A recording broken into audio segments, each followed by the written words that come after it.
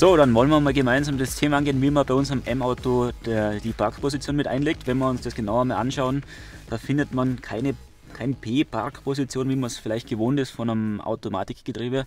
Hintergrund dafür ist so von der Konzeption, wir wollen uns anlehnen an einem normalen Schaltgetriebe. Und wenn man sich daran erinnert, wenn man da stehen bleibt, da gibt es ja meistens auch am Wählhebel kein P. Auch hier in unserem M-Modell ist es so, das heißt für Sie dann, wenn Sie stehen bleiben, müssen Sie einfach den Gang eingelegt lassen, aber gleichzeitig im Anschluss den Motor ausschalten.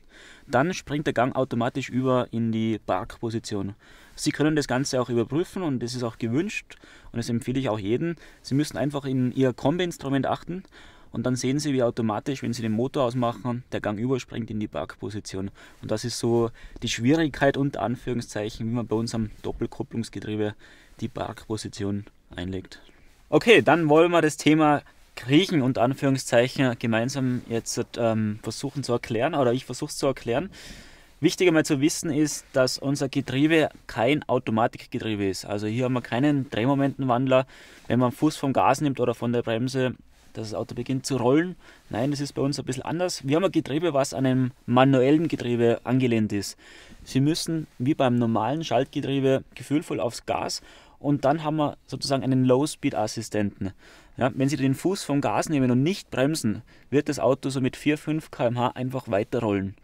Ja, viele haben so das Problem, ja, das und sagen, das Auto beginnt zu ruckeln, es ist so irgendwie unrhythmisch. Das ist dann meistens, wenn man dann zu viel Gas gibt, ja, dann man einfach zu viel Leistung.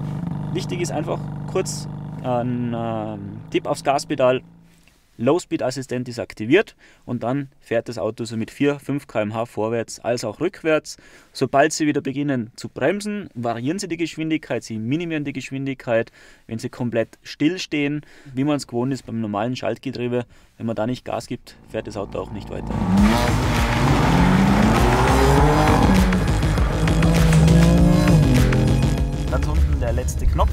Das nennt sich Drive Logic. Wenn Sie hier einmal drauf drücken, dann haben Sie nur einen Balken hinterlegt. Im Kombi-Instrument nochmal drauf drücken, zwei Balken. Sobald Sie drei Balken davor finden, heißt es dann, ja, man hat maximale Gangwechselgeschwindigkeit, beziehungsweise im Automatikmodus wird der Gang einfach ein bisschen mehr ausgedreht. Man nützt das komplette Drehzahlband mehr oder weniger aus und kann somit maximal beschleunigen.